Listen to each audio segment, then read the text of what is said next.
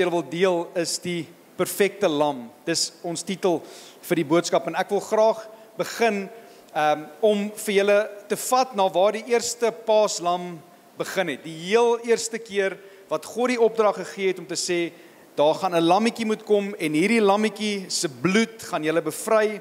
Hierdie lammetjie moet julle op 'n sekere manier voorberei En dit is die eerste uitreik kan ek sien hoe God eintlik kom na Israel en sê weet jy wat ek het julle geroep gehoor. Ek het agtergekom dat julle hierdie slawerny wat julle in is, weet julle was julle nooit voorbedoel nie en daarom wil ek julle bevry van Egipte.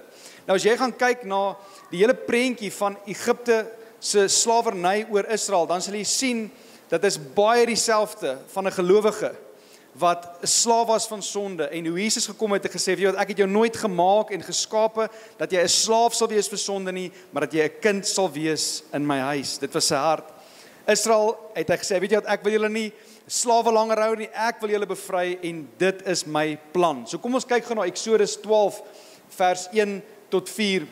Dis die heel eerste keer wat die Here die opdrag gegee het om die paaslam voor te berei. Lees asseblief saam met my En die Here het met Moses en Aaron in Egipte land gespreek en gesê: "Hierdie maand moet vir julle die begin van die maande wees. Dit moet vir julle die eerste van die maand maande van die jaar wees. Spreek tot die hele vergadering van Israel en sê: Op die 10de van hierdie maand moet hulle elkeen 'n lam neem volgens die families, 'n lam vir 'n huisgesin." Maar as 'n huisgesin te klein is vir 'n lam, dan moet hy en sy buurman wat die naaste aan sy huis is, dit neem volgens die sieletaal na wat elkeen gewoond is om te eet, moet julle die getal op die lam bereken. Vers 5: Julle moet 'n lam hê sonder gebrek. Ek wil julle julle moet daai onthou. Julle moet 'n lam hê sonder gebrek. 'n Jaar oud rammetjie van die skape of van die bokke kan julle dit neem en julle moet dit in bewaring hou tot die 14de dag van hierdie maand en die hele vergadering van die gemeente van Israel moet dit slag teen die aand en hulle moet van die bloed neem en dit stryk aan die twee deurposte en aan die boodrempel aan die huise waarin hulle dit eet. En die laaste een is net ek spring so 'n bietjie na vers 46 toe. In een huis moet dit geëet word. Jy mag niks van die vleis uit die huis buitentoe bring nie en jy mag geen been daarvan breek nie. So daar's 'n paar goedjies wat ek wil hê julle moet op attent wees wat ons hierso gelees het. Die eerste ding wat ek agtergekom het is dat hierdie lammetjie moes perfek gewees het. Hy moes nie 'n gebrek gehad het nie. Hy mag nie 'n kolletjie opgehad het nie. Hy moes perfek gewees het in alle opsigte, die eerste geborene. Tweede is hierdie bloed van hierdie lammetjie moet op die deurkusyne gesmeer word en As jy al gehoor het, hulle praat van die Pasga of in Engels die Passover, wat dit letterlik beteken het is daai laaste plaag van Egipte was dat die die engel van die dood se gekom het en hy sou die eerstelinge van van elke familie besoek het wat nie hierdie bloed het nie. En as hy die bloed gesien het, dan het die engel bo oor, so hy het gepas oor, hy het oor die huis gegaan en hy het gaan kyk waar die bloed is en hulle is nie geraak deur die vloek nie. En dan die laaste ene wat ek wil julle moet op attent wees is dat geen been van hierdie lammetjie mag gebreek geword het. En ek wil graag vandag vir julle vergelykings trek van hierdie eerste paaslam en die laaste paaslam. Die laaste een, Jesus Christus wat gekom het om te sê ek hierdie was alles 'n prentjie van Christus. As jy gaan sien, die Ou Testament is vol van die prentjies van Christus wat op pad is na ons toe en ons het die vervulling daarvan gesien um, in die evangelies en dit beleef. So Ek wil hier met gou-gou kyk na die eerste punt wat ek hierso het vir Jesus om die perfekte offer te word, moes hy eers geïnspekteer word. Julle het gesien het ons het nou gesien geen vlek nie, so wat hulle moes doen daai 10de dag het hy het hulle vir 4 dae daai lammetjie moes inspekteer van alle kante af en gekyk het is daar iets fout met hom? Is hy goed genoeg? Is hy reg vir hierdie offer? Nou, ek wil vir julle wys hoe was Jesus geïnspekteer gewees voordat hy goedgekeur was as die lam van God. Hy moes geïnspekteer geword het. Hy moes deur 'n ontsettende proses gegaan het van ondervraging waar mense vir hom van alle kante af sê hoor jy doen dit verkeerd en jy het jy gesondag en nêrens kon hulle hom vastrek nie en toe eindig hy op by die laaste persoon wat 'n inspeksie moes doen op Jesus en dit was Pontius Pilatus. Nou Pontius Pilatus hy was die goewerneur van Judea gewees en hy het telke male op die regstoel gesit waar hulle waar hy moes beoordeel tussen reg en verkeerd en dan moes hy besluit het wat word met daai persoon wat na hom toe gebring is. Nou wat ons moet ook moet weet is dat die kruis was nie uniek met Jesus nie. Dit was 'n normale manier hoe die Romeine kriminele hanteer het. So dit was 'n 'n openbare manier om vir die res van die mense in die Romeinse ryk te wys wat sal met jou gebeur as jy teen die keiser sal gaan. Ontsettend pyn wat daardeur gegaan het, ontsettend uh brutaal geweest wat hulle beleef het om 'n boodskap te wys. Nou hier kom Jesus op die toneel en Pontius Pilatus dink dis net nog 'n man wat ek vinnig moet beoordeel, my oordeel uitspreek en dan is dit verby. Maar ek wil vir julle wys hoe het God seker gemaak dat dat die goewerneur van Judea Pontius Pilatus hierdie inspeksie eers moet doen dat ons wys dat hierdie lammetjie is perfek. Kyk gou na Johannes 18:38 en Matteus 27:19. Ek gaan hulle so saam met uh saam lees. Pilatus sê vir hom, "Wat is waarheid?" En toe hy dit gesê het, gaan hy weer uit na die Jode en sê vir hulle, "Ek vind geen skuld in hom nie." Dis die eerste proklamasie wat Pontius Pilatus maak. Hy gaan praat met hom agter en in hierdie gesprek vra hy hierdie vraag vir Jesus, wat is waarheid? En ek dink die oomblik toe hy daai vraag vra, toe kyk Pontius Pilatus vir die eerste keer in sy lewe in die oë van waarheid in. Vir die eerste keer sien hy 'n man met opregte oë wat nie net praat van die waarheid nie, maar hy is die waarheid. Sy reaksie is as hy gaan uit voor 'n gehoor mense en hulle het gewag wat sy besluit gaan wees en hy sê hierdie woorde: Ek vind geen skuld in hom nie. Ek het gekyk, ek het hom ondersoek, ek het agter gekyk, ek het bo hom gekyk. Ek kan nie 'n fout vind hoekom hierdie persoon vandag moet sterf nie. Kry nie 'n fout nie. Kyk wat sê Matteus 27 vers 19. En terwyl hy op die regbank sit, het sy vrou na hom toe gestuur en gesê: "Moet tog niks doen te doen hê met hierdie regverdige man nie, want ek het vandag in 'n droom baie gelei om sy ontwil." So Pontius Pilatus kom na sy na 'n man toe by die regterstoel. En sy sê ek het gisteraand 'n droom gehad oor hierdie man en dis nie 'n normale man hierdie hy's 'n regverdige man moet niks hiermee te doen hê nie. Mens sal baie maklik dink dit was God se manier om om dalk uit die, die kruis uit te kry om te sê weet jy wat jy hoef nie hierdeur te gaan nie maar dit was God se manier om te wys vir die hele wêreld dat hierdie lam is perfek in alle opsigte. Daar's nie 'n fout in hom nie. Sondeloos. Nou, daai is my so moeilik want ons konsep van goed is baie keer ons idee wat ek vergelyk myself met iemand wat baie erger is as ek en dan lyk ek ontsettend goed. Iemand het dit eendag so gesê, dis soos 'n wit skapie wat in sneeu staan, dan sien jy eintlik hoe lyk die skapie in die wit sneeu agtergrond. En dis hoe ek voel as ek myself ooit met Christus moet vergelyk. As ek ooit dink ek is goed genoeg om om self saligheid te kry, om my eie lewe te kan regryk, dan moet ek myself nie met ander vergelyk nie, maar ek moet langs Christus gaan staan en dan sien ek die prentjie dat ek 'n redder nodig het. 'n Redder wat perfek was in alle opsigte.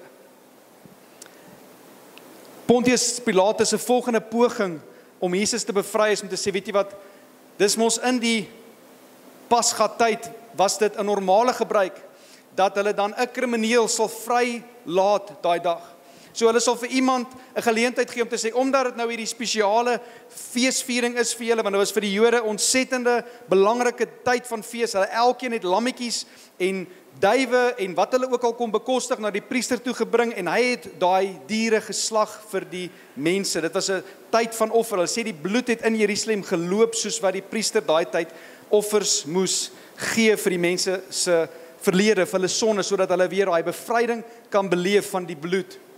En hy dog toe, weet jy wat, ek gaan die ergste krimineel kry om langs Jesus te staan. Ek gaan die een kry wat hulle gaan maklik sê, hy moet eerder kruis toe gaan as wat Jesus en hy kry vir Barabbas. Nou Barabbas se getuienis in die evangelies is hy was 'n moordenaar, hy was 'n rebel, hy was 'n bekende 'n uh, krimineel gewees en ek dink Pontius Pilatus het gedink As ek hom met Jesus moet vergelyk, dan sal hulle definitief sê laat Jesus vrygaan. Hierdie man het tog blindes genees en hy het dowes se ore oopgemaak en hy het dooies opgewek. So hulle sal tog hom kies bo Barabbas. Toe hulle langs mekaar staan, toe skree die Jode uit, ons soek vir Barabbas. En Barabbas gaan daai dag vry en hy het verdien om kruis toe te gaan. Hy het verdien om te sterf. Hy het verdien om die pyn en lyding deur te gaan. Jesus was onskuldig in alle opsigte. Hy het nooit 'n sonde gedoen nie. Hy het dit glad nie verdien nie. Nou wat vir my so wonderlik is van die woord is wanneer jy name gaan bestudeer, jy gaan kyk na die betekenisse van name en as jy gaan kyk wat beteken die naam Barabbas? Die naam Barabbas beteken die kind van die Vader. Kind van die Vader. Ander vertaal hom die die kind van skaamte, the child of shame. En weet jy wat toe ek die eerste keer lees, toe besef ek, maar weet jy wat ek ek verteenwoordig Barabbas. As ek lank hier moet staan en en en ons moet kyk wie moet wie moet sterf, wie moet hierdie dood gaan, dan sal dit maklik wees dat Gerard eerder moet gaan. Gerard verdien dit vir wat hy gedoen het, hoe hy gerebelleer het teen God, hoe hy hoe hy nie teen saam met hom gestap het in tye en die weggehardloop het van hom. Ek moes dit verdien het en hier kom Jesus en sê nee, ek sal ek sal die plek neem van daai persoon. Maak dit nie sin dat daai arme lammetjie wat die eerste keer geslag is vir die mense onskuldig was nie. Hy het homself mooi gedra daar buite. Hy was wit soos wol en eendag het iemand toe gevat en sê jy moet betaal vir die prys van ander. Jy moet jou lewe gee sodat ander kan lewe en hier sê Jesus dis ek. Julle sien nog heeltyd 'n prentjie van my wat kom om te sterf sodat julle lewe kan hê. Nou ek wil julle met gou hierdie saam met my lees. Hier het my verskriklik gevang, net soos 'n onskuldige lam het Jesus nooit die plesier van sonde beleef nie, net die pyn daarvan. Net soos 'n onskuldige lam het Jesus nooit die plesier van sonde beleef nie, net die pyn daarvan. Kan jy daaraan dink dat Jesus het nooit in sy lewe 'n voet verkeerd gesit nie. Hy het nie een keer teen God se wil, teen sy woord gegaan nie. Hy was absoluut sondeloos en nou moet hy die pyn beleef van sonde. Hy het nooit eers die plesier daarvan gehad nie. In daai tyd as jy gaan kyk in die Romeinse ryk, dit was goddeloos geweest. Mense het gemaak wat hulle wil, mense het gedoen soos wat hulle wil. En hier kom Jesus en sê weet jy wat, julle beleef al hierdie plesier. Ek is regverdig. Maar ek gaan die pyn beleef wat julle almal eintlik verdien. En weer eens sit ek myself in daai skoene en ek besef die volgende dat my sonde het ook 'n bydrae gelewer totdat hoekom Jesus Christus moes gaan. Ek het ook 'n 'n gedeelte van my lewe wat ek moes hoekom Jesus moes kruis toe gaan sodat hy vir my sondes 2000 jaar later sou kom betaal. Wat doen dit aan ons wanneer ons tot daai besef kom dat ons sonde het 'n bydrae gehad teer hoekom hy moes kruis toe gaan. Die van julle wat ons aanlyn dienste 'n bietjie gevolg het, toe ons in die lockdown was, het ek op 'n stadium 'n boodskap bedien wat ek gevra het, hoe sê 'n mens dankie? Hoe sê ek dankie? En tot vandag toe nog kan ek nie aan iets dink om ooit dankie te sê vir dit wat Jesus vir my en vir jou gedoen het. Ek kan nie dink aan enigiets wat ek kan doen om ooit terug te betaal nie. En ek sien ook nie dat die Here verwag dat ek enigiets moet teruggee nie. Maar as ek Romeine 1 Romeine 12 vers 1 lees, dan sien ek dat ek met my lewe as 'n lewendige offer vir hom kan gee. Om te sê Here, U het my alles gegee, so hoe kan ek my verstand, my krag, my liggaam, my hart terughou om nie alles vir U te gee nie. En ek dink dis die proses wat ons nou instap om elke dag meer en meer te sê, Here, maar ek wil nader aan U beweeg. Here, ek wil my hande meer bereidstel vir U. Ek wil my gedagtes meer tot U wend. Ek wil my my hart nader en nader aan die koninkryk hê. En die wonder daarvan is dat ek en jy dit nie op ons eie hoef te doen nie, dat ons ons het die kosbare gees ontvang van die Here wat ons lei in hierdie proses van heiligmaking. Want dis wat dit is. Ons is nou besig om af te lê van ons ou mens en ons is ons is besig om 'n nuwe mens van Christus aan te neem dag vir dag. Kyk gou wat sê 2 Korintiërs 5:21. Hoor hierdie woorde wat Paulus geskryf het vir die kerk van Korinte, want hy het hom wat geen sonde geken het nie, sonde vir ons gemaak. Hoekom? Sodat ons kan word geregtigheid van God in hom. 'n Man wat nie sonde geken het nie. Hy Hy's God, hy het 'n hy het 'n absolute perfekte natuur. God is lig en daar's geen duisternis om hom. So die hy kon nie eers 'n sonde doen nie. Dit was in nie, nie in sy natuur nie. Nou moet hy die sonde word van die wêreld. Hy moet dit word sodat ons kan word die geregtigheid van God. Dink bietjie mooi hieraan. Die groot deel van Christendom in in die in die wêreld glo in die drie eenheid, die Vader, Seun en Heilige Gees en dat hulle absoluut een is alhoewel hulle drie persone is. En my vraag aan julle is hoekom dink julle was dit vir Jesus so erg om te weet dat hy moet hier hierdie kruis gaan? Dink julle die pyn was die ergste of was dit die feit dat hy die sonde sal word en sy Vader nie meer met hom 'n verhouding kan hê in daai tyd nie? Want God kan nie 'n verhouding met duisternis hê nie. So hy het geword die sonde sodat ons kan word. So hy het sy verhouding opgegee met sy Vader sodat ek en jy kan intree in 'n verhouding met die Vader. Hy het dit wat hy nooit, hy was nooit ver van die Vader af nie. Hy was altyd naby met hom en toe hy op die kruis is, toe hoor ons hierdie woorde Eloi Eloi lama sabachthani wat beteken my God, my God, waarom het U my verlaat? Hoekom het die Vader hom in daai oomblik verlaat? Want hy het die sonde geword. Al die sonde, my sonde, jou sonde het op hom gekom sodat ek en jy kan word die geregtigheid van God. Nou as ons dit hoor, dan kan ons nie anders as om uit te stap te sê Here, opnuut besef ek weer die prys wat U betaal het aan die kruis. Kyk gou wat sê my volgende punt. Niemand het Jesus se lewe geneem nie. Hy het self sy lewe neergelê. Niemand het Jesus se lewe van hom af weggevat nie. Niemand het hom doodgemaak nie. Hy het sy lewe opgegee.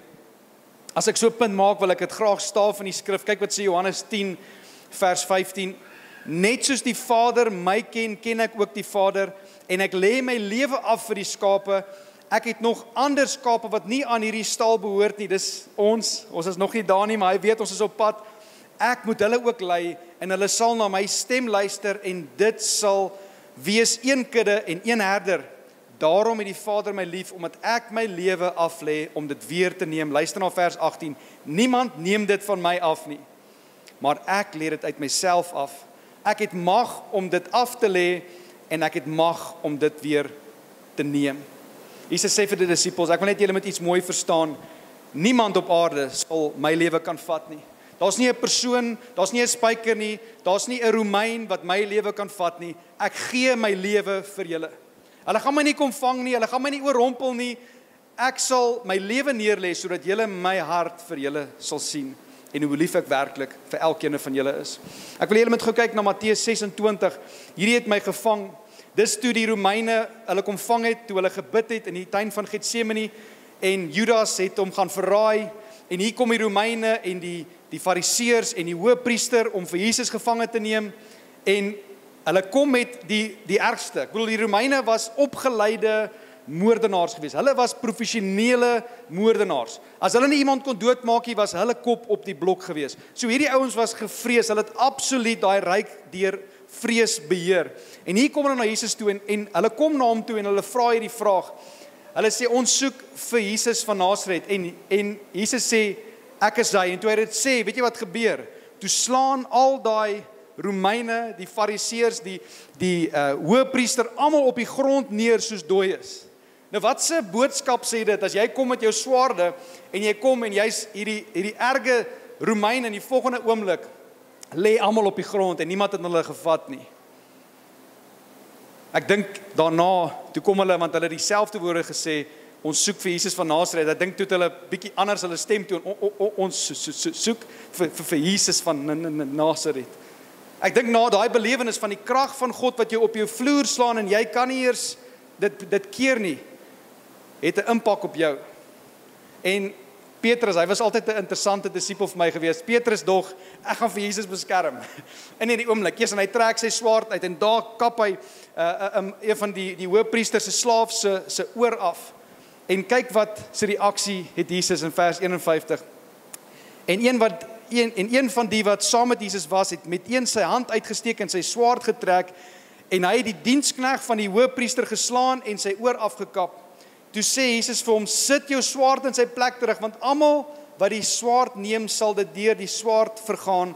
Of dink jy dat ek nie nou my Vader kan bid en hy vir my meer as 12 legioen van engele beskikbaar sal stel nie?" Dit is my so kosbaar wat Jesus vir Petrus sê. Petrus, dankie. dankie dat jy probeer het. Dankie vir jou poging, maar kom ek sê gou vir jou, Dat as ek nou my Vader bid, ek ek roep net 'n uh, eh, net my Vader in 'n oomblik, dan kom daar 12 legioen engele en daar's niks oor van die Romeinse ryk nie. Daar sal niks oor wees van die wêreld nie. Dis die krag wat my Vader en ek het saam. En hy sê vir Petrus, hoorie ek gaan laat gaan. Ek ek gaan my lewe gee. Niemand kom vang my nie. Ek gee my lewe in hulle hande. Ek het so 'n bietjie gaan kyk net om perspektief te kry. Mense verskil oor die legioen, hoeveel dit is maar baie ons reken is tussen 4200 en 6000 man. So toe ek so in die middel probeer sê sê ons werk op 5000, dan werk jy op 60000 engele wat so afgekom het en dit sou daar sou niks oor gewees het van daai plek nie. So Jesus het nooit sy lewe verloor of iemand het dit by hom gevat nie. Hy het dit oorhandig aan hulle om te sê hier is my Vader se wil en daar's 'n groter plan wat julle nog nie sien nie. My Vader is nog steeds in beheer. Ek wil julle gou 'n bietjie vat na die na die kruis toe. Hierdie is my ontsettend kosbaar en ek wil vir julle perspektief gee wat hier so gebeur het. Die kruis was 'n ontsettende wrede manier om te sterf. Dit was 'n manier om jou te verneder, was 'n manier om vir 'n boodskap te stuur dat mense nie daai selfde pad sal volg van iemand wat teen die Romeinse ryk sal gaan nie. Toe Jesus vasgespijker is aan die kruis, toe is hy nie deur sy hande gespijker nie, hy's so bietjie in die been ingespijker want hulle hulle het gereken baie mense dink dit is deur die hand is dis deur die been want anders sou die vel en die ligamente geskeur het vir die die gewig wat daai persoon ingehang het. En dit was 'n manier om te martel. Dit moes nie 'n vinnige dood gewees het nie. Dit was 'n manier om iemand te martel. En as jy jou voete vas geslaan het was dit 'n manier om asem te kry want hoe jy gesterf het in die kruis is jy het basies versmoor. So dis basies wat gebeur het. So hoe dit gewerk het is jy het gehang en dan voel jy hoe jy swakker word en dan kry jy nie asem nie, dan druk jy met jou voete teen die onderste spyker op sodat jy asem kan kry en dan gaan jy weer af. So dit was die konstante proses van op en af om asem te kry. Dis wat die heeltyd gebeur het. So jy kan dink aan die kruis hoe moeilik dit was, hoe hard dit vir hom was, wat hy daai in daai oomblikke beleef het, net die pyn en die lyding en en dit sonder sy Vader in daai oomblik, omdat hy geword het die sonde vir my en vir jou. Kyk gou wat sê Johannes 19:32 vir ons wat daar gebeur het. Die soldate het toe gekom en die bene van die eerste een gebreek en van die ander een wat saam met hom gekruisig was. So wat gebeur het is hulle het gesien voordat die Sabbat aangebreek het, moes hulle van die kruis afgehaal geword het. So wat die Romeinse soldate dan sou kom doen het, is dan sou hulle die knie kom afslaan het met 'n hamer. Die rede hoekom hulle die knie gebreek het, nou kan jy nie meer opdruk aan die spyker nie. So nou dat jy nie meer kan opdruk nie, versmoor jy binne minute. So dis waarom hulle die twee ander kriminele se bene gebreek het sodat hulle vinniger versmoor sodat hulle hierdie proses kan afhandel. Maar kyk wat gebeur toe hulle by Jesus kom. Maar toe hulle by Jesus kom en sien dat hy al dood was, het hulle sy bene nie gebreek nie, maar een van die soldate het met 'n spies in sy sy gesteek en dadelik het daar bloed en water uitgekom. En hy wat dit gesien het, het dit getuig. En sy getuienis is waaragtig. En hy weet dat hy die waarheid spreek sodat julle kan glo want hierdie dinge het gebeur en die skrif vervul sou word geen been van hom sal gebreek word nie. Nou kan julle onthou as ons teruggaan na die lammetjie wat was een van die vereistes wat God vir Israel gesê het is hierdie lammetjie se bene mag nie gebreek word nie En dit is my bewys dat Jesus het gesê, weet jy wat, niemand gaan my lewe vat nie. Ek gaan my lewe oorgee. Ek gaan my lewe gee. Dis 'n groot geskenk vir elkeen van julle. Niemand vat die lewe van my nie. Ek gee dit en ek het ook die mag om dit weer terug te vat. Nou ek hou daarvan om te gaan kyk na wat mense sê want baie mense wil die kruis en wat gebeur het gaan verkeerd bewys. En weet jy wat so wonderlik, 'n paar jaar terug was daar 'n man met die naam Lee Strobel en Lee Strobel het 'n boek geskryf, um The Case for Christ. En wat hy gaan doen het is sy vrou het het kragtadig tot bekering gekom en hulle was ateëste geweest. Hulle het aan aan geen bonatuurlike God of enigiets geglo nie en sy sy vrou kom kragtadig tot bekering. En hoe hoe sy tot bekering gekom het is eintlik ook 'n wonderwerk. Hulle is by 'n restaurant en sy sy dogtertjie verstik en daar's 'n suster in die restaurant en sy help toe die kind om die stuk kos uit haar keel uit te kry en toe sê sy na die tyd vir die vrou die suster wat haar gehelp het hoorie dankie dat jy hier was.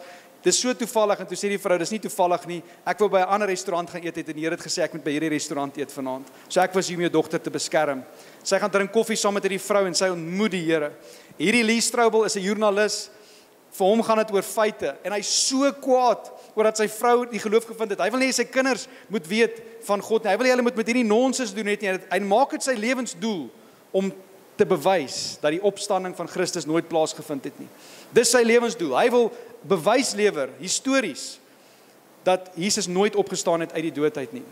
En hy gaan sien eendag 'n dokter en hierdie dokter het in 'n mediese joernaal het hy 'n toets gaan doen oor mense wat versmoor En hy het in die mediese joernaal gaan bewys dat as die sy wat Jesus ingesteek was, die feit dat daar bloed en water uitgekom het, is 'n teken dat hy versmoor het, dat hy nie meer asem gekry het nie. So dis 'n bewys dat hy wel gesterf het en dat hy sy lewe gegee het. Dis in 'n mediese joernaal opgeteken dat wat daar gebeur het 2000 jaar terug kan vandag medies bewys word dat dit vandag ook met iemand sal gebeur. En ons soveel bewyse wat ons kan deurgaan vandag, maar my geloof is nie in dit nie. My geloof is in die werklikheid van wat Christus in my lewe gedoen het en ek hoop is vir jou ook. Dat jy kan kyk in jou lewe hoe werklik en hoe betrokke hy in elkeen van ons se lewe is. Nou ek wil afsluit met my laaste vraag is hoekom? Wat was die die hele pyn en lyding deel? Hoekom? Wat was die groot plan agter dit? Want net na dat Jesus gesterf het, daar het daar iets gebeur wat vir my en jou vandag so belangrike gebeurtenis en ons vergeet dit baie keer. Maar die oomblik toe Jesus sy laaste asem uitgeblaas het, toe gebeur daar iets wat my en jou verhouding met God vir altyd verander het. Kyk wat sê Matteus 27 vers 50. Dis ons laaste gedeelte. Daarop het Jesus weer met 'n groot stem geroep en die Gees gegee. Daar het hy sy lewe opgegee en kyk, die voorhangsel van die tempel het in twee geskeur van bo tot onder en die aarde het gebewe en die rotse het geskeur.